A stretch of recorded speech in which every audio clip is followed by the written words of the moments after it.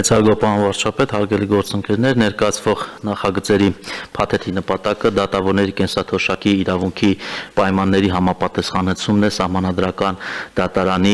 1806-2019 թվականի 1463 որոշմանը, ինչպես նաև դատախազների եւ քնչական մարմիններում ինքնավար պաշտոն զբաղեցնող անձանց կենսաթոշակային ապահովության միասնական պայմանների սահմանումը եւ կարգավորման միասնականության ապահովումն է։ Նախագծով առաջարկում ենք կատարել ըստ էության սահմանադրական դատարանի որոշման կատարումը, որն հակասահմանադրական էր ճանաչել դատավորների համար կենսաթոշակի իրավունքի իրացման պայմանների տարբերակված մոտեցումը եւ մենք սահմանում ենք միասնական պայմաններ, ոչ այդ օրենքն ուժի մեջ մտնելը պաշտոնավարող ու կենսաթոշակի իրավունք ձեռք բերած եւ օրենքն ուժի մեջ մտնելուց հետո կենսաթոշակի իրավունք ձեռք բերած անձանց համար վերացնելով սահմանադրական դատարանի կողմից արձանագրված խտրական մոտեցումը։ Նշեմ, որ այս նախագիծը նաեւ բխում է դատավորների անկախությունը այսպես ընդգծող մի շարք միջազգային փաստաթղթերից եւ մենք միասնական կարգավորումներ ենք սահմանում նաեւ դատախազների մասով, ինչպես նաեւ ամրա ամրագրել են կենսաթոշակի իրավունքի իրացման այնպիսի պայմաններ, որոնք ըստ էության լրացուցիչ սոցիալական երաշխիքներ են ապահովում։ Ուսումնասիրվել է նաև միջազգային պրակտիկան եւ հաշվի առնվել օրինակ 2018 թվականի Եվրոպական դատախազների խորհրդատվական խորհրդի կողմից ընդունված փաստաթուղթը դատախազների անկախությունը, հաշվետվողականություն եւ էթիկան եւ այդ փաստաթուղթի հիմնական դրույթներից մեկը օրինակ վերաբերում է դատախազների ուրեմն սոցիալական երաշխիքներին, որ ըստ էության պետք է համանման լինի դատավորների ընտրվող սոցիալական երաշխիքներին։ Նմանատիպ կարգավորումներ ենք համարժե կարգավորումներ ենք նախատեսել նաև քնչական գործառույթ իրականացնող այլ ուրեմն մարմիններում ներգրաված պաշտոնատար ինքնավար պաշտոն զբաղեցնող անձանց համար հակակոռուպցիոն կոմիտե, քնչական կոմիտե, պետական եկամուտների կոմիտե։ Ըստ էության այս նախագծի կարևորությունը ընդգծվել է նախկինում նախորդիվ եւ կառավարության եւ ազգային ժողովի կողմից եւ այս նախագծի մշակմանը մասնակցել են նաեւ ազգային ժողովի մեր գործընկերներ падգամավորներ Վլադիմիր Վարդանյանը եւ Արթուր Դավթյանը խնդրում հաստատել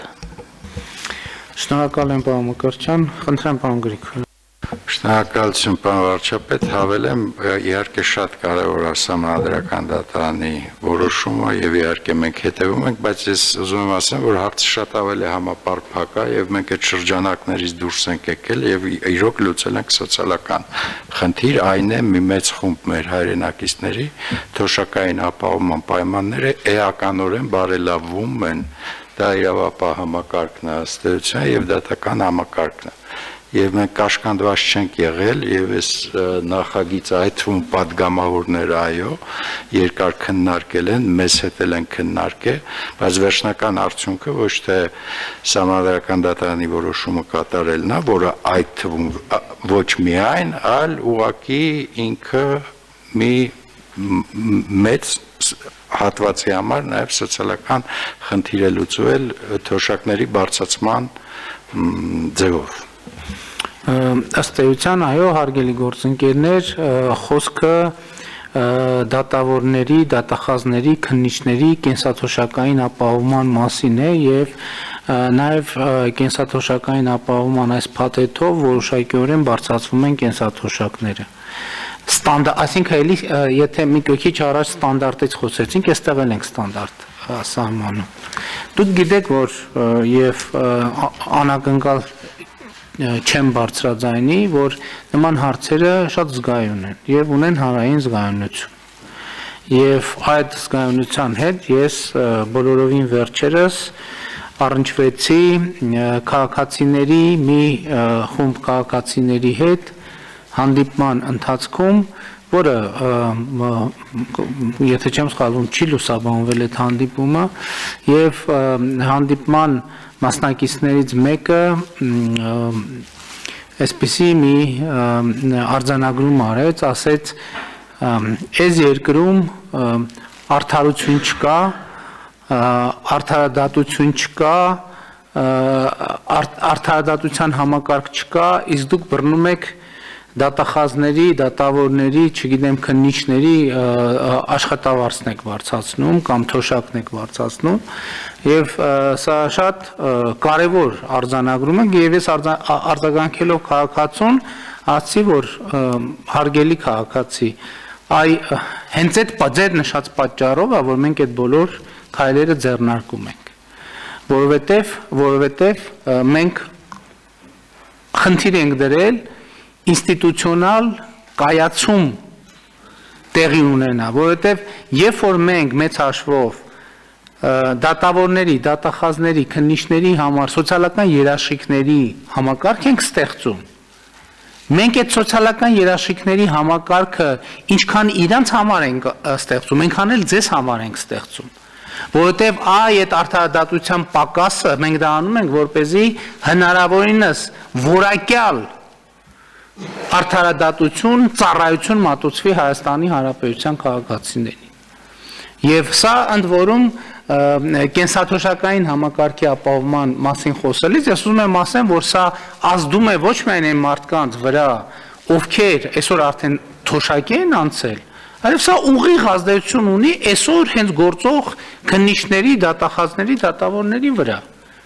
որովհետև որովհետև նաև նրանք ամեն օր իրանց վաղվա օրվա մասին էլ են, չեմ մտածում, երբ որ կա որոշակի սոցիալական երաշխիքներ, դա չի կարող չազդել աշխատանքի որակի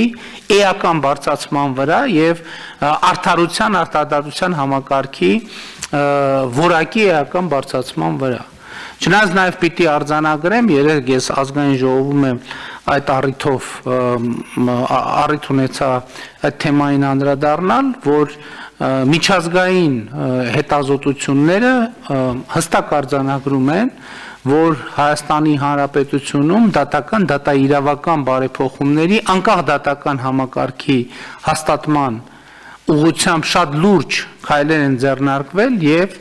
ձեռքբերումներ կան երեք ասցի մասնավորապես ը, 21 թվականի դեկտեմբերին հրապարակված Եվրամիության արևելյան գործընկերության քաղաքացիական հասարակության ֆորումի քաղաքացիական ֆորումի հրապարակած զեկույցի համաձայն Հայաստանի Հանրապետությունը առաջատար երկիր է մի շարք ա, ուղղություններով այդ թվում անկախ դատական համակարգ ունենալու առումով Էնպես որ ես կարծում եմ, որ այս որոշումը այո ունի սոցիալական իմաստ, այս որոշումը ունի համադրական դատարանի որոշումը կյանքի կոչելու իմաստ, այս որոշումը ունի արդարադատության ինստիտուտը Հայաստանի Հանրապետությունում կայացնելու իմաստ եւ հետեւաբար այս որոշումը ունի Հայաստանի Հանրապետության քաղաքացիների համար արդարադատությունը իրոք հասանելի դարձնելու իմաստ եւ իրոք արդյունավետ գործիք դարձնելու իմաստ եւ հետեւաբար սա նաեւ կարեւոր քաղաքական որոշում է։ Խնդրեմ, եթե կան դիտարկումներ, համեցեք, պարոն Անդրեաս։ Մեծարգո պարոն վարչապետ, թույլ տվեք շարունակել նաև այդ քաղաքացիների ընդհանուր մտահոգության թեման, հաճախ լինում է, որ քաղաքացիները անհանգստանում են, որ ինչու, ասենք, այլ խմբի պետական աշխատողների կամ այլ մասնագիտությունների թոշակային կամ աշխատավարձային խնդիրները միգուցե լինում են ոչ այդ նույն բարձրացումների տրամաբանության մեջ։ Ես կուզեի այստեղ հատուկ ընդգծել, որ դատաիրավական համակարգի առողջացումը բոլոր առաջատար երկրներում բերել է տնտեսական լուրջ աճի, իսկ տնտեսական աճը կապահովի արդեն մնացած բոլոր շերտերի համար նաև սոցիալական երաշխիքների ավելացման։ Երկրորդ կարևոր դիտարկումը կուզեի նշել, որ այո քաղաքացիները ցավոք սրտի իրենց կյանքում հանդիպում են 1-2 վատ դատավորի, վատ դատախազի կամ վատ քննիչի եւ այդտիսին է ամբողջ համակարգի նկատմամբ ընկալումը եւ շատերը մոռանում են թե ինչքան նվիրյալներ են աշխատում այս համակարգում եւ իրենց հենց ստեղծելու համար շատ կարևոր են այս սոցիալական երաշխիքները եւ վերջին դիտարկումը մենք ունենք մի քանի ուղություններով աշխատանքներ կառավարությունը որթեգրել է ոչ միայն աջակցելու եւ նպաստելու սոցիալական այս երաշխիքներով, այլև նաեւ պատասխանատվության շեմերը բարձրացնելու եւ հենց 3 ազգային ժողով օրինակ մի օրենսդրական փաթեթի տվեց հավանություն, որը նաեւ խստացնում է կամ հնարավորություն է տալիս պատասխանատվության ենթարկել բոլոր այն արդարադատության ոլորտի աշխատողներին, ովքեր իրենց աշխատանքում թերանում են։ Այնպես որ երկու ուղղությամբ է տարվում աշխատանքները եւ խրախուսելու եւ նաեւ վատ աշխատողներին դուրս բերելու համակարգից։ Շնորհակալություն։ Շնորհակալ եմ պարոն Անդրեսյան, բայց այստեղ ես ձեր ասածը հավելելով կուզեի մի բանի մասին էլ խոսել, մի այսպես ասած կազմակերպչական հարցի, որտեղ տեսեք դուք ասացիք ինչի ինչի քաղաքացիների աշխատավարձերը, թոշակները բարձրացնելու հարցում կառավարությունը այդքան ակտիվ չի, ինչքան շահառուների որոշակի խմբի, այստեղ պետք է խոստովանել, որ կա նաև տեխնիկական պատճառ կներեք այդ բառի համար, որովհետև մի բա- մի բան է շահառուների 2000 հոգանոց խմբի թոշակ բարձրացնելը եւ ուրիշ բան է շահառուների 500.000, 600.000 ը, մարդուց բաղկացած խմբի թոշակ բարձրացնելը Այս դեպքում նաև պետք է հասկանանք, որ ծախսելի համախառն ծախսերի համադրությունը անհամեմատելի է։ Այնտեղ 1000 2000, 3000 դրամով, 4000, 5000 դրամով թոշակ կամ վճարում բարձրացնելու համար տասնյակ միլիարդավոր դրամներ են պետք ու ամեն տարի, ամեն տարի, դա մի տարով չի որ այս հարցի ամենակարևոր հատվածն է։ Մի անգամ այդ որոշումը կայացրեցիր, վերջ այդ գնաց տասնյակ տարիներով, ասենք 100 միլիարդների պետական ծախսի մասին է խոսքը, ինչը իհարկե նաև մեր պարտավորությունն է, որը մենք ստանձնել ենք եւ որը մենք պետք է անենք։ Բայց նաև մենք այս հնդածս շահառուների ավելի սահմանափակ խնդիրների սոցիալական ավելի սահմանափակ խմբերի սոցիալական խնդիրները լուծելով մենք նաև քայլ-քայլ այսպես փուլային եղանակով ավելի ընդլայնված խնդիր ենք լուծում համեցեք բան Պարոն վարչապետ, ըստ էության դուք ճիշտ եք, սոցիալական երաշխիքներ տրամադրելու քաղաքական կամ կամքի նաև բացակայության արդյունքում է եղել, որ ը, սահմանադրական դատարանի որոշումն է եղել տարբերակված եւ խտրական վերաբերմունքի մասով, որտեղ 1999-ից մինչև 2016 թվականը ըստ էության 8 անգամ օրենք է փոփոխվել նշված պաշտոնատար անձանց կենսաթոշակի իրավունքի պայմանների ուրեմն առումով այս դեպքում մենք միասնական եւ ստանդարտացված մոտեցմամբ փակում ենք այդ հարցը եւ քանի որ հնչեց նաեւ այլ ուրեմն մեր հայրենակիցների կենսաթոշակային ապահովության պայմանների մասին ցանկանում եմ զեկուցել նաեւ որ օրակարգի չզեկուցվող 16-րդ հարց նստեյության վերաբերվում է կենսաթոշակային ապահովությանը, որով մենք լուծում ենք մի շարք խնդիրներ, որոնք վերաբերվում են աշխատանքային կենսաթոշակին, զինվորական կենսաթոշակին, ծերության, հաշմանդամության, կերակրողին կորցնելու դեպքում ուրեմն նպաստներին եւ առաջարկում ենք մի շարք կարգավորումներ եւ բարելավումներ։ Օր եւ բեր- բերեմ երկու հատ օրինակ, եթե օրինակ հաշմանդամություն ունեցող երեխային խնամելու դեպքում ներկա կարգավորումներով ծնողին տրվում է առավելագույնը 10 տարի աշխատանքային ստաժի իրավունք, այս նոր կարգավորումով մենք տալիս ենք մինչև 18 տարին լրանալը ամբողջական ժամանակահատվածի համար ուրեմն աշխատան, աշխատանքային ստաժի իրավունք եւ երկրորդ կարևոր մի շարք են բարելավումները, օրինակ տարին մեկ պետք է քաղաքացին անպայման, եթե ոչ կանխիկ պետք է ստանա կենսաթոշակը մոտենա բանկ, դիմում լրացնի եւ իր ներկայությունը հավաստի, որ ինքը Հայաստանի Հանրապետությունում է նոր առաջարկվող կարգավորումներով, եթե տարվա ընթացքում որևիցե գործառույթ կիրականացնի միասնական սոցիալական ծառայության որևիցե կենտրոնում համակարգում արդեն կփաստվի իր ներկայություն եւ քաղաքացուն հավելյալ մենք չենք ուղարկի բանկ դիմում գրել եւ այլն այսինքն այստեղ կարգավորումները եւ բարելավումները կենսաթոշակային ապահովության չզեկուցվող 16-րդ հարցում բավական են եւ բավականին շատ են եւ ըստ էության մի շարք խնդիրներ լուծվում են նաեւ դրանով շատ լավ խնդրեմ այլ դիտարկումներ համեցեք Պարոն վարչապետ,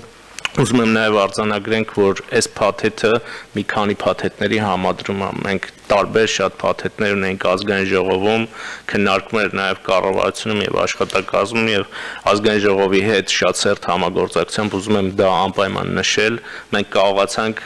գլուխ գլուխ բերել այս ուրեմն նախագիծը եւ այսպես շատ բարձր եւ լավ ստանդարտ համակարգի համար սահմանել։ Կարծում եմ, որ սա ինստիտուցիոնալ զարգացման կարևորագույն քայլերից մեկն է ոլորտի։ Շատ լավ։ Այս տրամաբանությամբ մենք առաջնորդվեցինք նաև ոչ թե հենց կոնկրետ այս տրամաբանությամբ առաջնորդվեցինք նաև հակակոռուպցիոն կոմիտե ձևավորելու ժամանակ, երբ որ եւ նաև հակակոռուպցիոն դատարանների, հակակոռուպցիոն կոմիտեի համար մենք աշխատավարձերի այլ ստանդարտ սահմանեցինք եւ այն ժամանակ էլ շատ բանավեճ կար, արդարացի բանավեճ, թե ինչքանով է արդար, որ իրավապահ համակարգում տարբեր աշխատավարձներ լինեն եւ մենք այն ժամանակ շատ པարս ասցինք մեր մոտիվացիան, որ մենք հիմա դա անում ենք, որպեսզի հետո ինչ որ առումով ստիպված լինենք մնացած համակարգերում էլ նույնպես աշխատավարձերը բարձրացնել, հասկանալով, որ սա հանրային հնչեղության առումով այդքան էլ բան չի, այդքան էլ այդքան էլ ականջահաճո եւ ակնահաճո չի եւ մենք շարունակելու ենք այդ ճանապարհը այո առաջիկայում նաեւ դատական համակարգում լինելու են աշխատավարձերի նոր բարձրացումներ արդեն եթե չեմ սխալվում շրջանառության մեջ է մասնավորապես վճռաբեկ դատարանի եւ համադրական դատարանի դատավորների աշխատավարձի բարձրացման թեման ընդհանրապես մեր օրակարգում կա դատավորների աշխատավարձը բարձրացնելու թեման, նաև դատախազական, քնչական մարմիններում մենք իհարկե ելի ասում ենք, մեր մոտիվացիան մենք օրինակ երեք մի քննարկում ունեինք բնականաբար որևէ որևէ այսպես հուսով եմ որ ազնիվ ը, պաշտոնյաները այս միտքը իրենց վրա չեն վերցնի մեր քննարկումը կոռուպցիայի մասին էր եւ մենք խոսում ենք կոռուպցիա երևույթի հոգեբանության պատճառահետևանքային կապերի մասին, բայց ի վերջո եզրակացությունը հետեւյալն է, որ ինչ այդ բոլոր գործոններով հանդերձ այնուամենայնիվ կոռուպցիայի անկյունակարը պետական պաշտոնյայի ցածր աշխատավարձն է հասկանալի է որ կան գործոններ, հասկանալի է որ կան բազմաթիվ պետական պաշտոնյաներ, որոնք նույնիսկ ցածր աշխատավարձի դեպքում կոռուպցիայի մեջ չեն ներկայացվում եւ այլն եւ այդպես շարունակ, բայց միևնույնն է անկյունակարը հիմքը կոռուպցիայի ցածր աշխատավարձն է։ Իսկ թե կոռուպցիան ինչպիսի աղետներ է բերում եւ ինչպիսի նեգատիվ ազդեցություն է ունեցում ունենում շարքային քաղաքացու ասենք ընդհանուր անապահովության սոցիալական ան- անապահովության համակարգից օգտվող քաղաքացու կյանքի վրա մենք բոլորս գիտենք եւ հետեւաբար այս այս այս կամքը մենք պետքա ցուցաբերենք Եվ նախորդ օրվա մեր քննարկման մասին էլ պատմեմ, երբ որ մենք բյուջետային մեր անելիքներն ենք քննարկում, խոսում ենք, խոսում ենք ճգնաժամերի, ճգնաժամերը հաղթահարելու եւ այլնի մասին, այդպեսի մի միտք էլ հնչեց,